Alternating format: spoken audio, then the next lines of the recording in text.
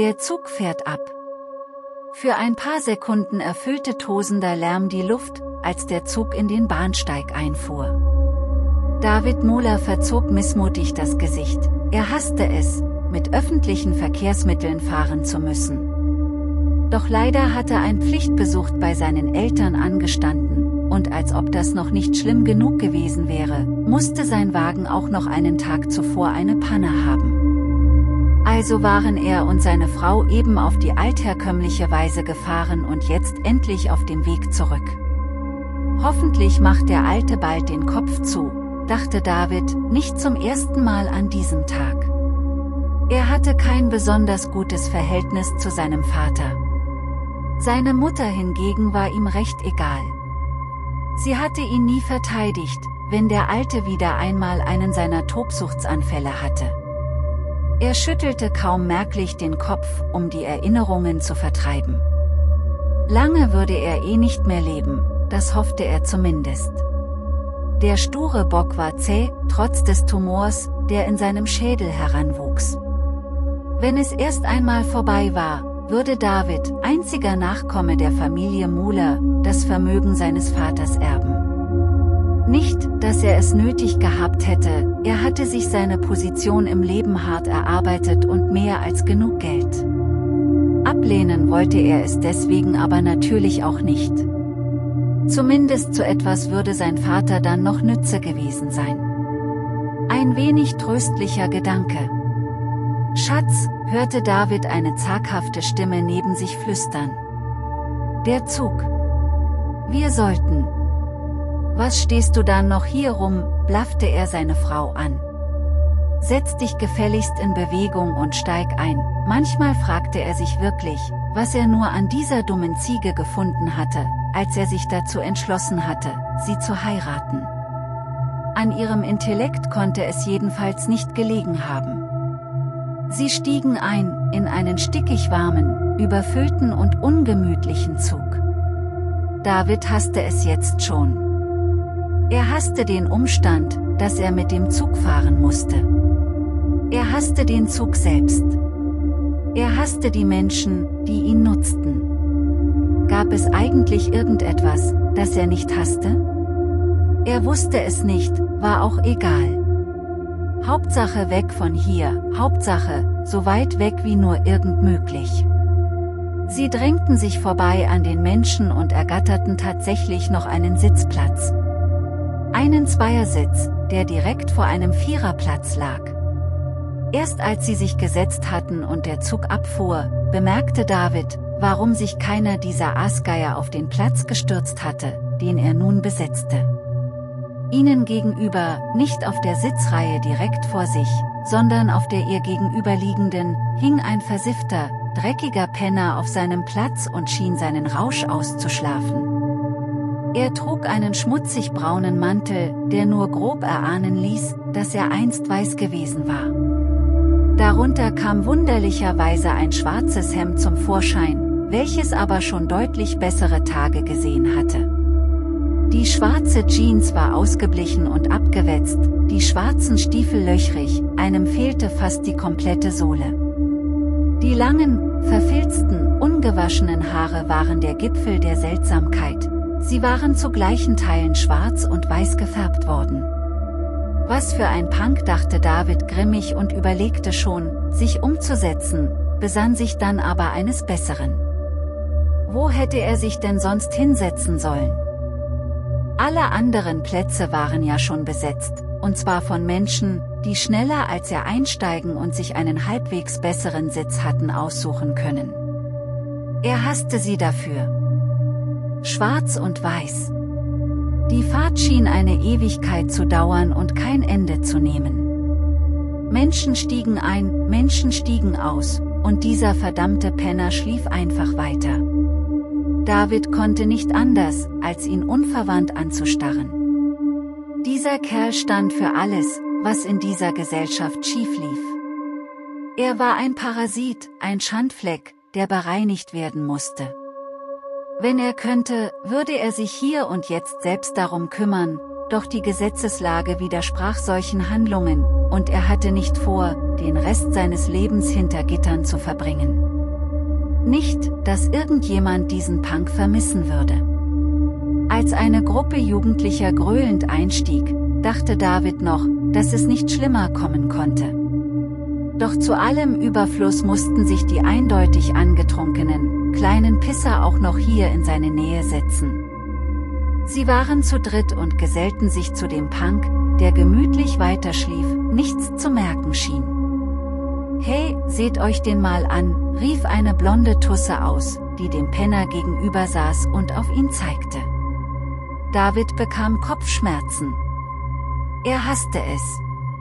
Aber vielleicht würden die Jugendlichen ihm den Gefallen tun und den Punk ein bisschen aufmischen, dann hätte ihre Anwesenheit wenigstens etwas Gutes. Hey Kumpel, sagte ein junger, muskulöser Mann, der direkt neben dem Punk saß. Er lehnte sich leicht zur Seite und stieß ihn mit der Schulter an. Harten Tag hinter dir, er begann schallend zu lachen, seine Freunde stimmten ein. Er hob eine Flasche irgendeines billigen Fusels an die Lippen und nahm einen kräftigen Schluck. Auch was? fragte er und reichte sie dem Punk. Dieser reagierte natürlich nicht, schlief einfach weiter. So viel zu dem Thema dachte David. Das Pochen in seinem Schädel wurde immer schlimmer. Ich hab dich was gefragt, knurrte der Jugendliche nun, nachdem er die Flasche fast eine Minute lang vor den Punk gehalten hatte. Ist ganz schön unhöflich von dir, mich einfach zu ignorieren, er lallte heftig, was nicht über den Zorn in seiner Stimme hinwegtäuschen konnte. David grinste leise in sich hinein, vielleicht würde er ja doch noch die erhoffte Show bekommen. Sollten wir nicht, eine leise, zögerliche Stimme. Er hasste es, wenn sie das tat. Sei still, erwiderte David, ohne seine Frau auch nur eines Blickes zu würdigen. Er wollte nichts verpassen. Zieh ihm einfach eins über, riet die Tusse gerade. Vielleicht wacht er dann auf. Ja, gute Idee, der Muskelmann stand schwankend auf, geriet stark ins Wanken, als der Zug zum Halten kam, schaffte es aber irgendwie, aufrecht stehen zu bleiben, und wandte sich dem Punk zu. Die Hand mit der Flasche hebend, war er tatsächlich drauf und dran, sie dem Penner über den Schädel zu ziehen. Davids Herz begann schneller zu schlagen, seine Augen wurden groß, er konnte es kaum mehr erwarten. Und dann nichts. Der Kerl nahm die Flasche wieder runter, der Zorn war aus seiner Miene verschwunden und leichter Irritation gewichen. Wir wir ziehen ab, sagte er und verließ einfach den Zug. Seine beiden Freunde sahen ihm verwirrt hinterher, sahen dann sich an, zuckten ratlos mit den Schultern und folgten ihm. David konnte es nicht fassen. Was war da gerade geschehen? Ungläubig sah er der Gruppe Jugendlicher hinterher, Enttäuschung machte sich in ihm breit. Als seine Frau neben ihm erschrocken aufatmete, musste er den starken Drang niederkämpfen, sich zu ihr umzudrehen und ihr eine zu langen. Das würde warten müssen, bis sie zu Hause waren. Also wandte er sich ihr ohne erhobene Faust zu. Was ist denn nun schon wieder? Doch sie musste gar nicht antworten, die Richtung ihres Blickes war Antwort genug, und als David ihm folgte, erschrak er selbst derart, dass sein Herz einen kurzen Aussetzer machte. Der Punk war erwacht und starrte ihn mit offenen Augen an. Das alleine war jedoch nicht das Schlimmste. Das Schlimmste waren seine Augen selbst. Das linke war komplett weiß, mit einer schwarzen Pupille, und das rechte schwarz, mit einer weißen Pupille.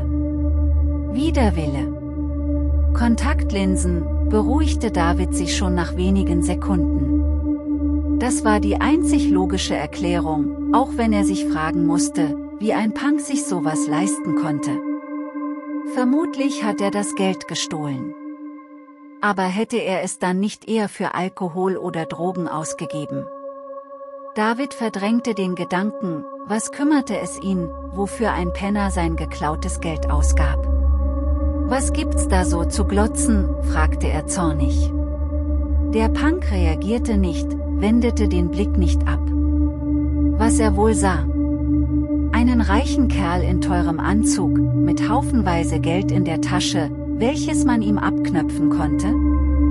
Sollte er es nur versuchen. Notwehr. Da stand die Sache doch gleich schon wieder anders. Doch natürlich war heute einfach nicht Davids Glückstag. Der Punk schloss die Augen wieder und ließ den Kopf hängen. Er war gar nicht richtig wach gewesen. Sollten wir vielleicht schon wieder diese nervtötende Stimme neben ihm? Ja, er würde ihr nachher wieder einmal ein paar Lektionen beibringen müssen. Schatz, unterbrach er seine Frau, wobei das Wort alles andere als liebevoll klang. Er drehte den Kopf in ihre Richtung, sah ihr tief in die Augen und erkannte, dass sie endlich begriff, dass sie etwas falsch gemacht hatte. Da sprach Angst aus ihrem Gesicht, er genoss es. David langte nach ihrer Hand, nahm sie sacht zwischen seine Finger. Wir hatten heute einen anstrengenden Tag und ich sehne mich nach nichts mehr als ein wenig Ruhe, verstehst du das? Sein Griff wurde plötzlich fester, seine Frau jaulte kurz vor Schmerz auf, unterdrückte ihn jedoch rechtzeitig. Sie wusste, wenn sie jetzt laut wurde, würde sie später nur noch mehr leiden. Sie nickte. Ich verstehe. Tut mir leid. Sollte es auch, knurrte David, verstärkte seinen Griff noch einmal, wobei seine kräftige Hand die schmale, zierliche seiner Frau fast komplett umschloss und darin einquetschte. Sie verzog leicht das Gesicht, kniff aber gleichzeitig die Lippen zusammen und brachte keinen Ton von sich. Zumindest war sie lernfähig, vielleicht würde die Bestrafung nicht ganz so hart ausfallen. Nicht, dass er ernsthaft darüber nachdachte, sie gänzlich aufzuheben. David drehte den Kopf wieder nach vorne und erneut erschrak er und erneut starrte er in diese seltsamen Augen, nur, dass sie dieses Mal näher waren. Der Punk war unbemerkt eine Sitzbank weiter gerückt und saß nun nur noch wenige Zentimeter von ihnen entfernt.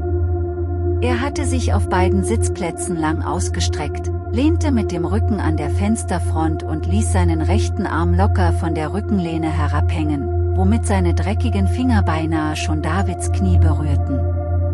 Dieses Mal war er definitiv wach. Kontaktlinsen hin oder her, David sah es in seinen Augen, das raubtierhafte Aufblitzen. Kann ich irgendetwas für Sie tun? fragte David höflich, klang allerdings nur angepisst. Der Punk ignorierte ihn. Er musterte ihn noch einen Moment lang ruhig, ehe er sich seiner Frau zuwandte. Alles in Ordnung bei Ihnen? fragte er überraschend klar. Davids Frau war klug genug, den Kopf zu senken und nicht zu antworten. Natürlich ist alles in Ordnung bei ihr, erwiderte der Geschäftsmann. Und jetzt lassen Sie uns bitte in Ruhe, bitte? Was sollte das? Er sollte den Kerl zur Hölle fahren lassen und ihn nicht darum bitten, sie in Frieden zu lassen. Diese verdammten Kopfschmerzen. Die Augen des Fremden huschten zu David herüber. Mit ihnen habe ich nicht geredet. Ihre Frau kann sicher sehr gut für sich alleine sprechen. Sicher kann sie das, bestätigte David, aber das braucht sie nicht zu interessieren. Und jetzt verzieh dich wieder auf deinen Platz, okay? Nein. Nein. David zuckte zusammen. Eine lodernde Flamme entbrannte in seinem Inneren. Er hasste es, wenn man sich ihm widersetzte. Er hasste es, wenn man ihn mit einem einfachen Nein abzuspeisen versuchte. Doch statt dem Kerl einfach eine aufs Maul zu hauen, erhob David sich plötzlich. Komm, wir setzen uns woanders hin, hörte er sich selber sagen. Er glaubte nicht, was er da gerade im Begriff war zu tun. Sie gehen nirgendwo hin, erklärte der Punk, doch David ignorierte ihn. Jetzt komm schon, brüllte er seine Frau lauter als beabsichtigt an, doch diese schien ihn gar nicht zu hören. Sie starrte unverwandt den Fremden an, mit vor Schreck geweiteten Augen. Was denn nun schon wieder, dachte David noch genervt, als er wieder in die Richtung sah, in die sie starrte. Dann dachte er auf einmal gar nichts mehr, sondern starrte nur in den schwarzen, leeren Lauf einer Pistole, die direkt auf ihn gerichtet war. Nächster Halt, nirgendwo. kann dieser Tag eigentlich noch schlimmer werden? Waren die ersten Worte, die David in den Sinn kamen, als sein Geist wieder halbwegs in die Gänge kam. Er hatte den Punk zu gerne verprügeln wollen, ihm die Scheiße aus dem Leib treten, doch nun war er der Angeherschte. Nur ein Fingerzocken trennte ihn von der befriedigenden Vorstellung, im Blut des miesen Arschlochs zu stehen und sich an seinem Leid zu ergötzen, und der endlosen, ewigen Leere. Setzen Sie sich, verlangte der Punk. David gehorchte, ohne darüber nachzudenken.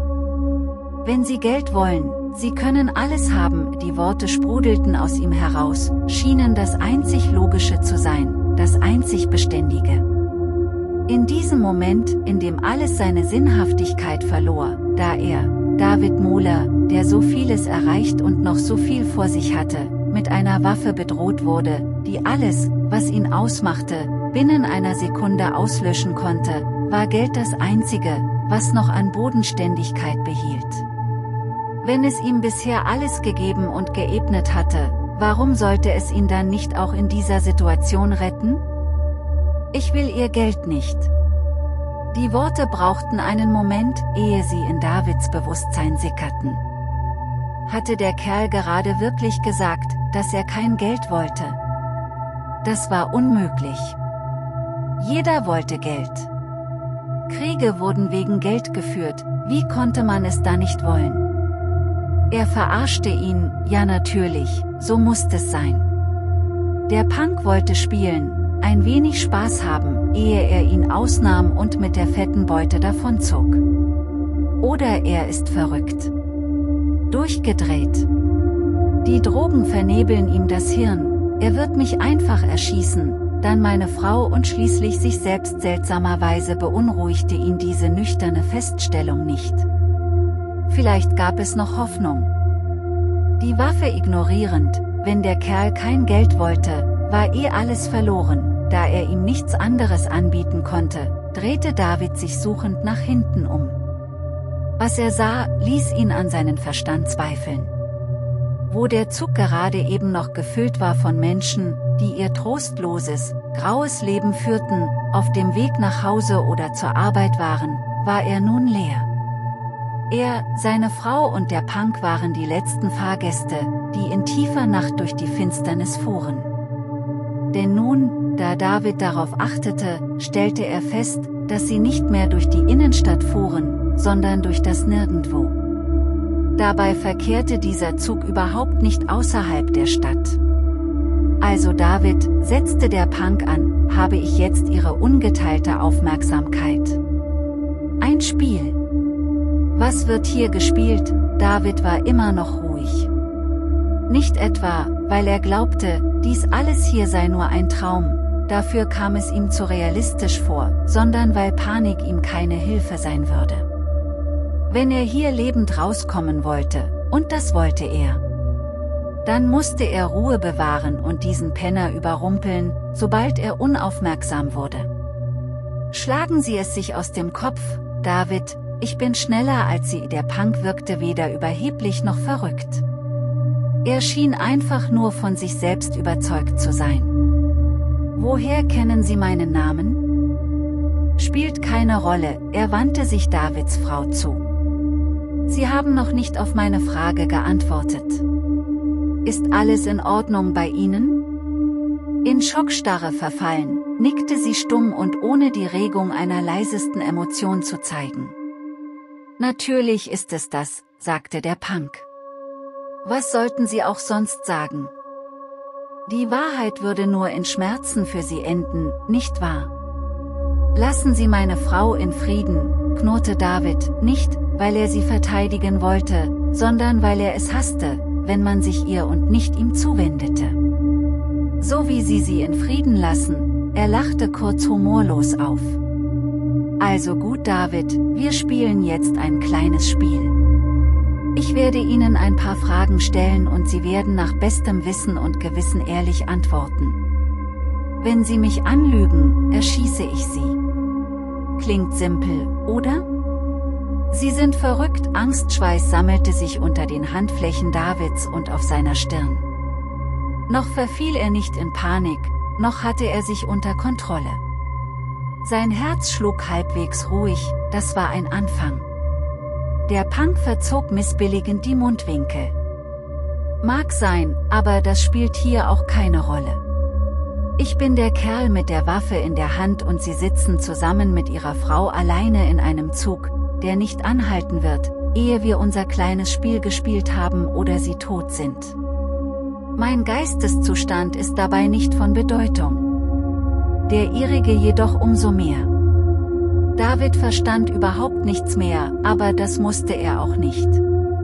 Er musste nur lebend hier rauskommen und diesem Arschloch dabei nach Möglichkeit eine Lektion erteilen. Also, sagte der Punk. Fangen wir an. Frage 1. Misshandeln Sie Ihre Frau? Darüber musste David nicht nachdenken.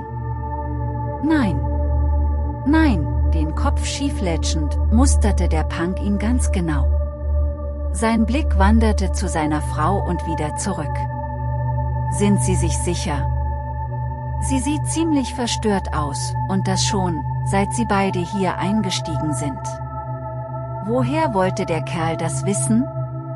Er hatte doch geschlafen. Egal, Konzentration. Ich misshandle meine Frau nicht, erklärte David noch einmal, mit absoluter Selbstüberzeugung in der Stimme. Mit einem leichten Lächeln auf den Lippen nickte der Punk. Sehr gut David. Wirklich, sehr, sehr gut.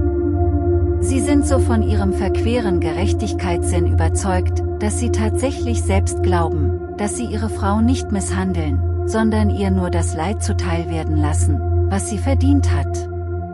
Sie haben die Wahrheit gesagt, sie dürfen weiter zur Runde 2. Tief durchatmend, ersparte sich David eine Erwiderung. Es hätte ja eh nichts genutzt.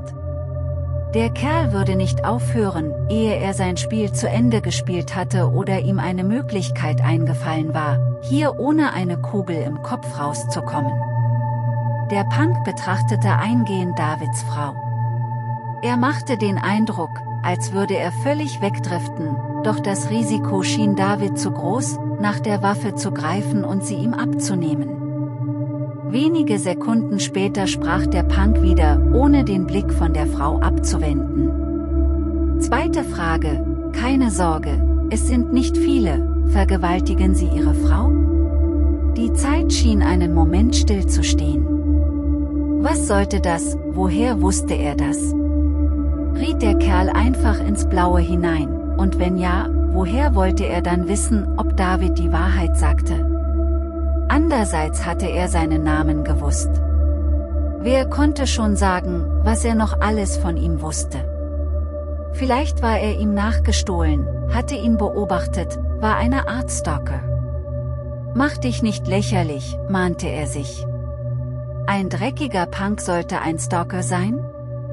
Ihn, David Muller, wochenlang verfolgt und beobachtet haben, ohne dass er es mitbekam.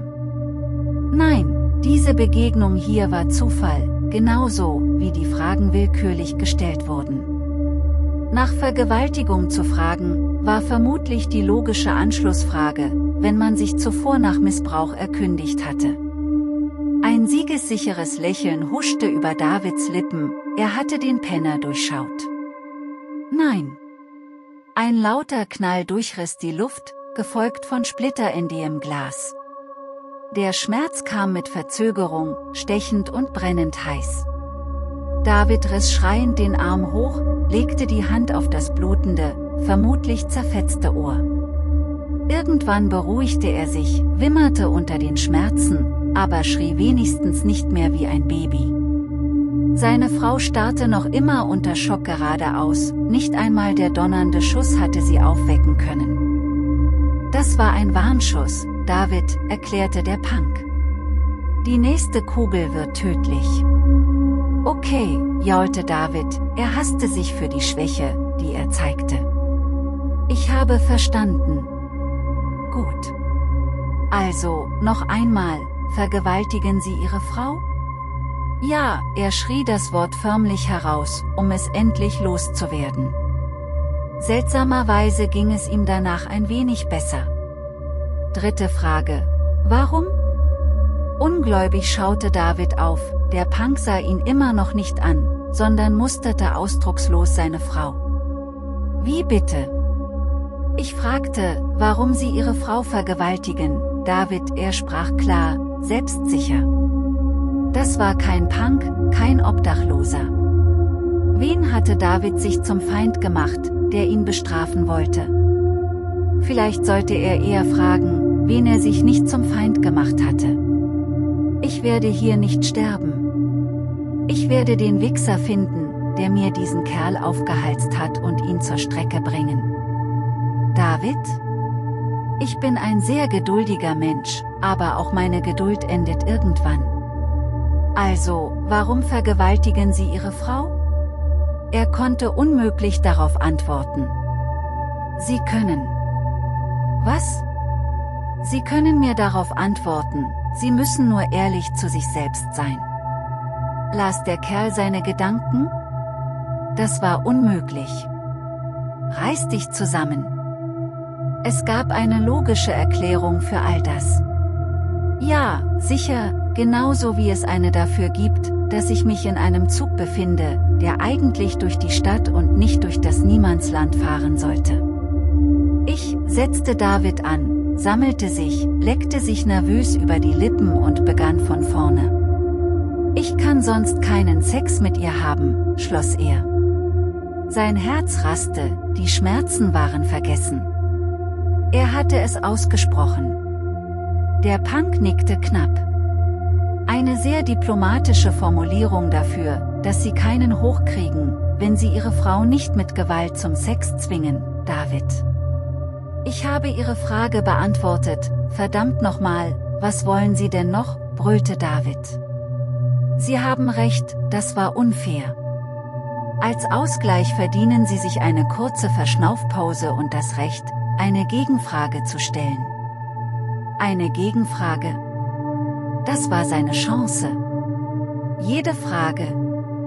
Was Sie wollen. Wer hat Sie beauftragt, wenn er das wusste, wenn er das erfuhr, würde er denjenigen finden und ihn leiden lassen. Niemand. David traute seinen Ohren nicht. Sie haben gesagt, ich darf Sie alles fragen. Und das haben Sie getan. Aber Sie waren nicht ehrlich. Oh doch, das war ich. Ich kann nichts dafür, dass Sie nicht akzeptieren können, dass diese Begegnung hier nichts mit den Feinden zu tun hat, die Sie sich in Ihrem bisherigen Leben gemacht haben. Allerdings möchte ich an dieser Stelle empfehlen, sich vor eben diesen in Acht zu nehmen. Das heißt, sofern Sie hier lebend rauskommen. Das war unmöglich, völlig verrückt, und das Schlimmste, David glaubte es auch noch. Vierte Frage, die Verschnaufpause war vorbei. Warum glauben Sie, ist Ihre Potenz derart eingeschränkt? Das kann nicht sein Ernst sein. Ich weiß es nicht, das war die ehrlichste Antwort, die er sich abbringen konnte, auch wenn er dafür vermutlich eine Kugel kassieren würde. Gut, erwiderte der Punk. Es ist nichts Verwerfliches daran, etwas nicht zu wissen, und noch besser ist es, sich diese Unwissenheit eingestehen zu können. Aber wissen Sie was, David? Ich denke, wir können dieser Frage auf den Grund gehen. Darüber musste David doch tatsächlich auflachen. Die Waffe, die noch immer auf ihn gerichtet war, geriet mehr und mehr in den Hintergrund. Diese ganze Situation war so verrückt, dass er glaubte, langsam selbst den Verstand zu verlieren. Wollen Sie mein Psychotherapeut werden, oder was? Nein. Aber vielleicht sollten Sie sich einen suchen. Was, je weiter das hier ging, desto seltsamer wurde es. Meinen Sie nicht, dass professionelle Hilfe Ihnen guttun würde? Sie haben mir eben gestanden, dass Sie nur Sex mit Ihrer Frau haben können, wenn Sie sie vergewaltigen. Finden Sie das etwa normal? Nein, Natürlich tat er das nicht, aber bisher hatte er sich darüber auch nie wirklich Gedanken gemacht. Seine Frau, die dumme Ziege, die er regelmäßig verprügelte, weil sie es einfach brauchte, war für ihn nicht mehr als ein Objekt, das er benutzte. So wie er alle Menschen auf die eine oder andere Art nur benutzte. Er war nicht normal, er hatte einen psychischen Knacks, ohne Frage. Ich sehe, wir machen Fortschritte, ein zufriedenes Lächeln huschte über die Lippen des Punks. Nächste Frage, wurden Sie als Kind sexuell misshandelt? Davids Herz setzte aus, Bilder schossen ihm in den Kopf. Bilder einer alten, aber kräftigen Hand, die ihn bestimmt dazu zwang, Dinge zu tun, die er nicht tun wollte.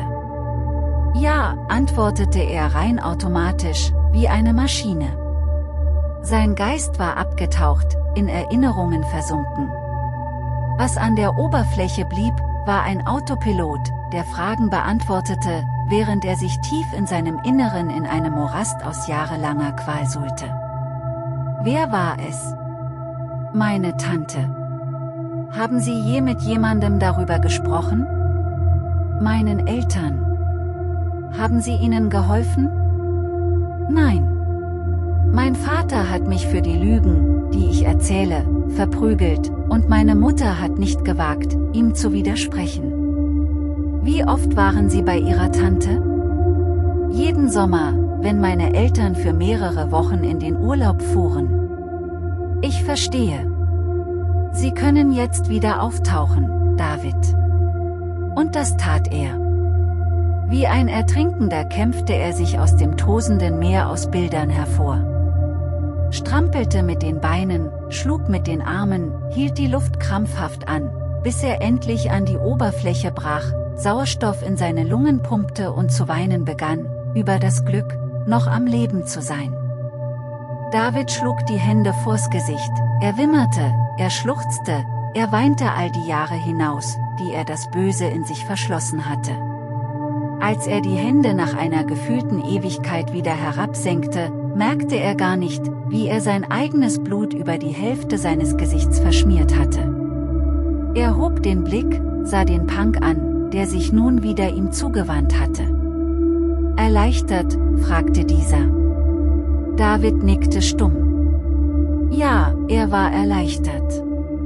Oh Gott, wie erleichtert er war. Gut, dann wird es jetzt wohl Zeit, ihre Frau zu wecken. Er streckte die Hand aus, hielt sie neben das Ohr der Frau und schnippte einmal. In ihrer Hand. Davids Frau wurde schlagartig aus ihrer Trance geweckt. Doch trotz der Tatsache, dass sie die ganze Zeit unter Schock gestanden hatte, wirkte sie weder irritiert noch verwundert über die aktuelle Situation. Mit ausdruckslosem Blick drehte sie sich zu David. Sie hat alles mitgehört, erklärte der Punk. Sie weiß nun Bescheid.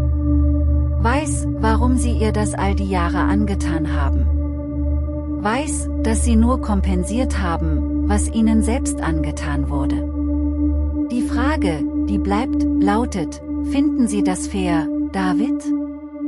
Voller Überzeugung schüttelte er den Kopf. Auch, wenn er immer noch keine Liebe für diese Frau empfand und vermutlich nie empfinden würde. Auch, wenn sie ihm immer noch egal war, so, wie ihm alle Menschen egal waren, weil er einfach nicht dazu fähig war, Gefühle für jemanden zu entwickeln, empfand er seine Taten ihr gegenüber nicht als fair. In Ordnung. Sie haben all meine Fragen ehrlich beantwortet, David, ich bin stolz auf Sie. Was nun folgt, liegt nicht mehr in meiner Hand, und auch nicht in ihrer, was das anbelangt, er machte eine kurze Pause, nahm die Waffe runter, umfasste den Lauf mit der anderen Hand und reichte sie der Frau. Es liegt in ihrer. Ohne hinzusehen, griff sie nach der Waffe. Endstation. Sie würde ihn erschießen, dessen war David sich sicher. Und verdiente er das nicht auch? Für das, was er ihr angetan hatte? Er würde sich nicht wehren, nicht um Gnade flehen. Du brauchst Hilfe, David, sagte seine Frau kühl. Das, was dir angetan wurde, ist grausam, aber ich bin mir sicher, dass der richtige Arzt und die richtige Behandlung das wieder hinbekommen. Jemand wird dir helfen, sie schüttelte den Kopf. Nur ich werde das nicht sein, denn ich kann das nicht länger. Ohne Vorwarnung hob sie die Waffe, richtete sie sich selbst an die Schläfe und, noch ehe David Nein brüllen konnte, drückte sie ab. Der ohrenbetäubende Knall verging so schnell, wie er kam. Das Blut und die Gehirnmasse, die an die Zuginnenwand und die Fenster geklatscht wurden, hingegen nicht. Ihr Körper sackte leblos in sich zusammen. Sie ist tot, hauchte David, fassungslos auf den toten Körper starrend. Oh mein Gott, sie ist tot, er wandte sich zur anderen Seite und übergab sich mitten auf den Boden. Nachdem er damit fertig war, fühlte er sich nur noch leer, sowohl physisch als auch psychisch. Auf sein eigenes Erbrochenes herabblickend bekam David nicht mit, wie der Punk sich erhob. Er sah ihn erst, als zwei blitzblanke Schubhaare direkt in sein Sichtfeld und damit in sein halbverdautes Mittagessen traten. Als David den Kopf hob, traute er seinen Augen kaum. Von dem zerschlissenen, dreckigen Penner war nichts mehr zu sehen. Der Mantel war strahlend weiß, das Hemd elegant und ordentlich, die Hose wie neu, die Haare gepflegt. Und die Augen immer noch schwarz und weiß. So wie ich das sehe, sagte der Punk, haben Sie jetzt mehrere Möglichkeiten, David. Sie können die Waffe nehmen und sich selbst in den Kopf schießen, Sie können damit auf mich schießen, Sie können hier sitzen und für den Rest Ihres Lebens stagnieren, oder aber Sie können Ihr restliches Leben in die Hand nehmen und noch etwas daraus machen. Die Entscheidung und deren Konsequenzen liegen ganz bei Ihnen. Und was ist mit Ihnen, Warum stellte er eine solche sinnbefreite Frage? Er wusste es nicht, wusste gar nichts mehr. Als die Lichter der Stadt, gleißend durch die Fenster fielen und der Zug an der nächsten Station quietschend zum Halten kam, wusste David nicht zuletzt wegen den wenigen Passagieren, die plötzlich wieder hier bei ihm saßen, dass er erwacht war. Ebenso wusste er aber auch, dass seine Frau noch immer tot hinter ihm lag. Nun, er war sich ziemlich sicher. Er hörte sie zumindest nicht, aber das musste ja nichts heißen, schließlich hatte er ihr oft genug die Worte zurück in ihren Mund geprügelt. Ich, sagte der Punk, der immer noch da war, plötzlich aber normale, braune Augen hatte und ein wenig irritiert reinblickte, werde jetzt gehen, Alter, muss meinen Anschluss bekommen, er hob die eine Hand, um ein Peace-Zeichen zum Abschied zu machen, und die andere, um aus seiner halbleeren Bierflasche zu trinken, ehe er einfach verschwand und den Zug verließ.